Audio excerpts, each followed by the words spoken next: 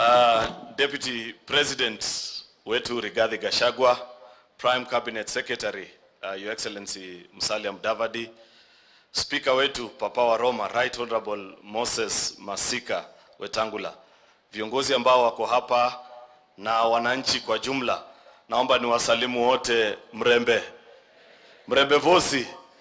Bwana asifiwe. Asante. Nataka nitoe shukrani. Nimekuja hapa kupitia mwaliko wa huyu rafiki yetu Faruk, wakiwa wamejumuika na rafiki yangu Mheshimiwa Malulu, ambayo wameniambia siku ya leo, wewe kuja utembee huku kwetu, tuko na hafla ya maombi ya kumshukuru Mwenyezi Mungu, na mimi nikiwa kiongozi na pia mwana Kenya Kwanza, mimi natambua kile maombi ilitufanyia.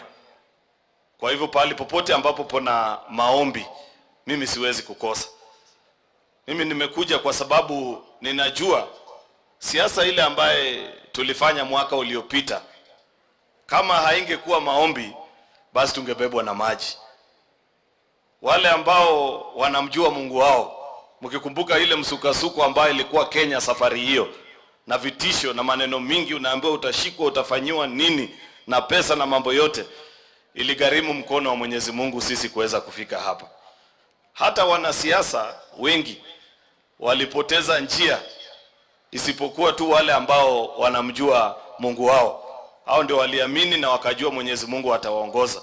Ndio maana nilisikia hata mheshimiwa rafiki yangu Malulu akisema hata yeye kidogo karibu ateleze. Bahati mzuri tu yeye huwa anatembea na hii rozari yake, na siku ingine aliniambia, siku ile alienda akasalimiana na huyo mzee, msalaba kwa kifua ilitetemeka usiku yote, akajua hapa nimepotea, nimeenda kwa mchawi, akapenduka na akarudi kwa Kenya Kwanza.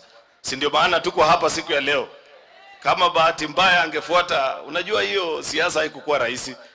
Watu wengi sana walichanganikiwa, mabishop na nini, ile mambo ambayo mingi ilikuwa hapa na vitisho, lakini Mungu akasimama na sisi, na ndio maana tuko hapa. Tumeanza sasa kazi ya kuweka muundo msingi mzuri wa taifa letu la Kenya, kuhakikisha kwamba mwananchi yule ambaye ako chini, ambaye tuliwaita wakati ule wa campaign na hata sasa hustlers wa kawaida, wanajumuika katika mpango yote ya serikali. Ile mambo ambayo sisi tunafanya ni kuhakikisha kwamba Mkenya wa kawaida anasaidika kwa mipango ya serikali, wala sio wachache tu waliokule juu kama ilivyokuwa katika serikali iliyopita. Na ndio maana unasikia, mimi niliwasikia viongozi wakizungumza na nakubaliana nao.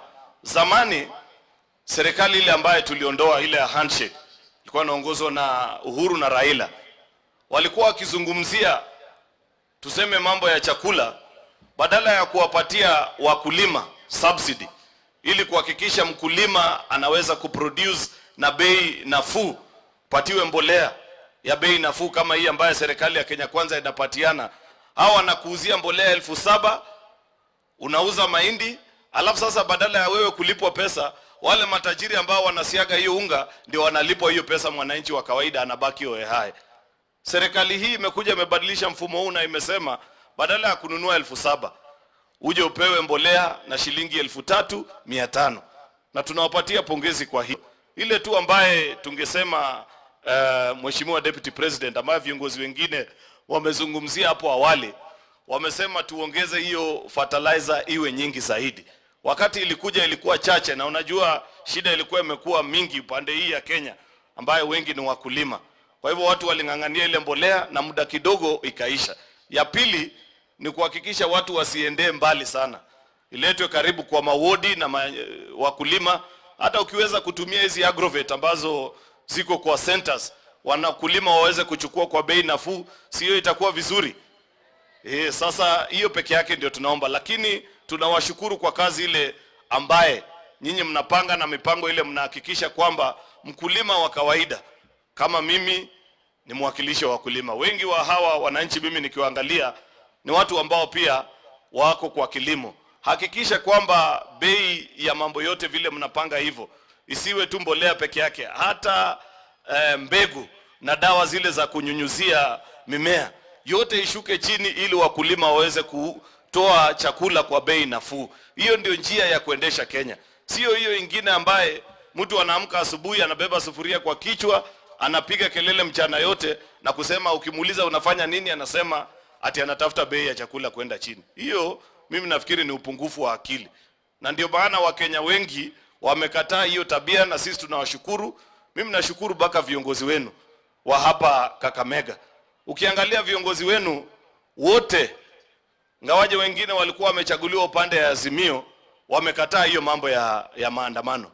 Fact mimi sijaona mjumbe yoyote wa kakamega ambaye yako kwa hiyo maneno ya, ya maandamano. Fikiri saa nyingine tu naonanga mmoja ule kijana naitwa nani? Eh, Selasia lakini rafiki yangu nilimuuliza akaniambia hapana mimi siko kwa maandamano kuna vitu wajakoya anatembeanga nayo saa ingine anamuonjesha tu kidogo yeye ikiisha anarudi. Kwa hivyo hakuna mtu ya ati utapata kwa maandamano. Na unaona hata gavana mimi nampatia gavana Fernandes Baraza pongezi sana. Gavana Fernandes yeye amesoma. Ameona ile masaibu imepata Oparanya ambaye alikuwa gavana wenu hapa. Oparanya alifungulia mlango huyo mzee, huyo mzee amemdanganya, mwisho amemweka kwa mtaro, na ndio unaona Oparanya hata uchaguzi imeisha, yeye bado hawachane na ule mzee, na nikimuuliza vizuri atawaambia ukweli, ni ile vitu yake yenye huyo mzee alichukua akimwambia ati atakuwa minister. Hasa ukiuliza Oparanya ni nini bado unafuata, anasema sasa nitatokaje kwa huyu mzee, na unajua alichukua vitu yangu akaniambia mimi nitakuwa minister wa finance. Ndio baada wako kwa maandamano hati anangojea kukuwa minister wa finance. Afadhali kanisa, mimi nasema muombee gavana wenu wa zamani ajue uchaguzi iliisha, mambo ya finance minister ilienda, na pia ile vitu yenye huyo mzee alichukua hakuna njia ya kupata tena. Ndio maana Fernandes amejifundisha mapema akasema, mimi hiyo njia ya maandamano hawezi kukubali. In fact, viongozi wengi ukiwaangalia hata wale wa ODM, si wiki iliyopita mliona gavana Anyang' asubuhi anaandika barua anasema hakuna maandamano. Saa nane anapigiwa simu anaambiwa nani amekupatia ruhusa ya kucancel hiyo maneno ya manuma. Yaani wamekuwa kama ile kwa Biblia inasemekana the spirit the, the, the, the, the spirit is uh, willing but the body is weak. Yaani kwa roho yake yeye anajua ukweli, lakini sasa atafanyaje? Na unajua hawa wa viongozi wa ODM mara nyingi hata wapitishi kwa mchujo unaambiwa tunakupatia tikiti, ndio kesho yake kile ile sisi tunasema we unafanya. Bwana, hata inastua watu wengi. Mimi nikimwona ati Raila, how can Raila talk about democracy? Mtu anaongoza chama ambaye sheria ya chama ni baba is right, hakuna kitu ingine. Hauruhusiwi kutumia akili yako, hakuna chochote ambaye utawahi kupinga yenye huyo mzee amesema. Hata wakati mnaona huyu ametupoteza, bado unaambiwa ati wewe tu sema huyo mzee ako sawa. That's why in ODM party, kama nyinyi mnakumbuka vizuri, sababu wengine wenu pengine zamani mlikuwa huko, hakuna nomination inafanyikanga, mwananchi apewi ruhusa ya kuchagua mwananchi. All those leaders, ukiangalia kaunti yoyote, Homa Bay, wapi, viongozi wale walipewa certificate ilikuwa ni bure, sababu unaenda unafanyishwa test usiku, mzee anakuuliza bahati mbaya nikishindwa hii uchaguzi na niseme nimeshinda, utanipinga? Ukisema itategemea, unanyimwa certificate. So hiyo shida ambayo iko kule, sisi tuwaombee ili Kenya yetu iweze kusimama imara, na nimwombe tu naibu wa rais, unajua wewe pamoja na rais wetu mliinua Biblia pale Kasarani na mkasema mtailinda katiba na mtahakikisha nchi iko imara. Wananchi wanaanza kusumbuka kwa sababu pahali hii maandamano imefika, hii si maandamano tena, hii ni wizi na uporaji ya mali ya watu. Kama unatizama kwenye runinga ile mambo inaendelea, mtu akitaka kuendelea na biashara yake anapigwa, anaumizwa, ananyang'anywa mali yake, na tunasema kuna serikali kwa nchi. Swali ile ambayo wananchi wanajiuliza, tupatieni bas list hii ya wale ambao wako above the law na wale ambao wako chini ya sheria, sababu inaonekana Kenya kuna sheria mara mbili.